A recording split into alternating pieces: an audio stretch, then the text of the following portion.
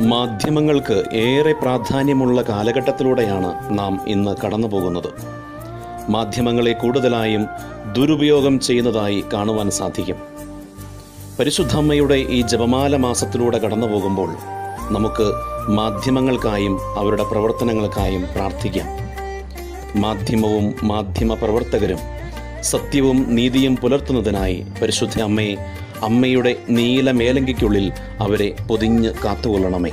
ജപമാല നെഞ്ചോടു ചേർത്തു ഞാനമ്മേ നിറമിഴിയോടെ നോക്കിടുന്നു.